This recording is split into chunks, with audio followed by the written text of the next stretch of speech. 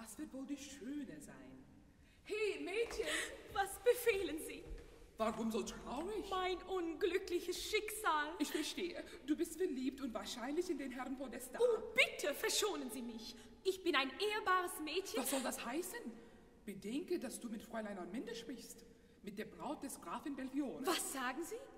Belfiore, Ihr Bräutigam? Ja, ja. Was hast du? Du wirst ganz blass. Ich weiß nicht. Schmerz überfällt mich auf einmal. Er drückt mir aufs Herz. Ich werde... Oh, das arme Mädchen. Hey, zu Hilfe! Ist niemand da? Was gibt's? Hier bin ich. Hier, liebster Graf, stehen Sie diesem armen Mädchen bei. Ich hole Hilfe.